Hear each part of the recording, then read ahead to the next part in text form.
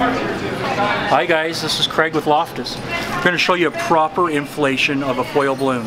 Now, one thing you need to know about a foil balloon, you don't want to use the latex tilt valve to blow up a foil. You're going to be blowing too much helium in there too fast and you can damage the valve. That will make it so your balloon will not last. Use the foil valve and you want to, in on that there is a little like a little hole that you want to slide onto the foil valve and just push up. What the foil valve does is it measures the pressure going into the balloon. So when it feels that the balloon is full, it stops. You cannot pop the balloon.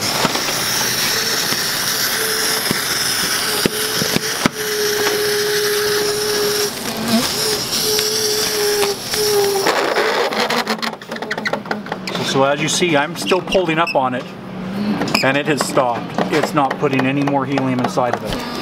So pull it off at that point. On the tail, there's a little line, and pretty much all balloons have that nowadays. It says tie ribbon here. You want to make sure you tie the ribbon at that point.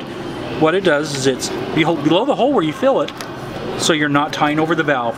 When you tie over the valve, it crimps it and it makes it so your helium will leak. So you do not want to do that. Plus, another great thing is, if you have to reinflate it, you can get right inside of it. You don't have to worry about it. So let's put a ribbon on here.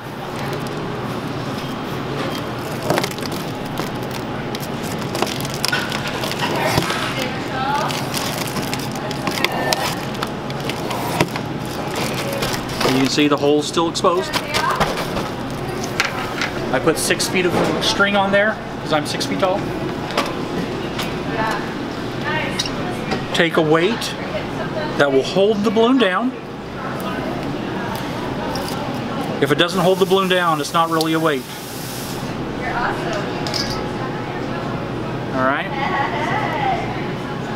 And you're good to go.